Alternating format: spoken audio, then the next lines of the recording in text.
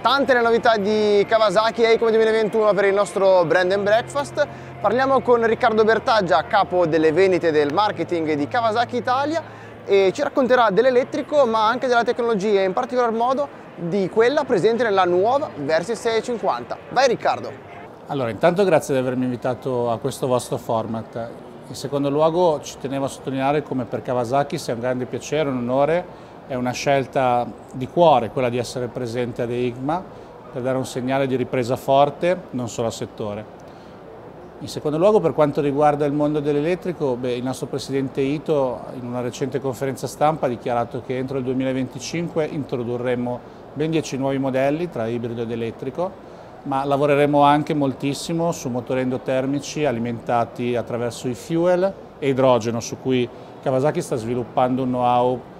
decisamente importante. In termini invece di novità 2022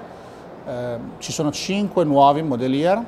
partiamo da Z900 RSSE, una moto bellissima, un upgrade della classica Z900 RS che in questo caso ha una componentistica di particolare pregio e allo stesso tempo la Z900 che ha, ha, avuto la possibilità di ricevere una, diciamo una sorellina anch'essa con degli upgrade che è appunto la 900 SE e che monta un monoammortizzatore Hollins completamente regolabile e delle pinze Brembo monoblocco. La grande novità di quest'autunno è la Z650 RS, una moto che ha riscontrato un grandissimo successo al suo lancio con i media di tutta Europa. È una moto che dà immediata confidenza e ci permette di eh, aprirci ad un pubblico che fino adesso forse non trovava nel portafoglio prodotto di Kawasaki eh, una moto che soddisfasse tutte le esigenze di, ehm, di stile, di facilità di guida e allo stesso tempo una moto che potesse essere anche accessibile nel prezzo.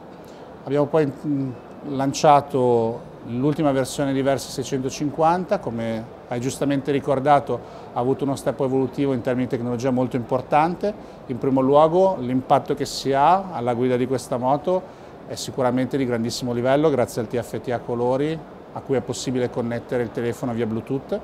e l'introduzione di un elemento fondamentale per la sicurezza attiva come il traction control, unica nella sua fascia di prezzo e nella sua gamma ad avere entrambi queste features.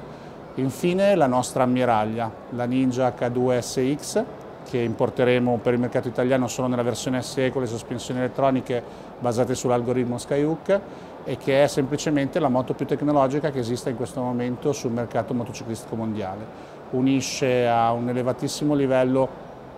eh, di tecnologia legata alla connettività e alla sicurezza attiva con gli ARAS che includono appunto anche i radar anteriore e posteriore con l'unicità del motore H2 che è compresso e che in questo caso è stato bilanciato per l'utilizzo turistico e sportivo. Queste le parole dei protagonisti di EICMA 2021. Se non volete perdervi nessuna delle novità della Kermesse milanese e le interviste, seguiteci sul nostro canale YouTube, sui nostri canali social, ma soprattutto sul nostro sito www.motorbox.com.